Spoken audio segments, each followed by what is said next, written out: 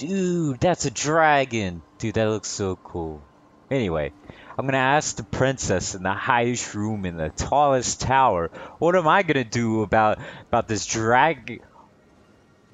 I wish I could drag my nuts across your titties. Boobies.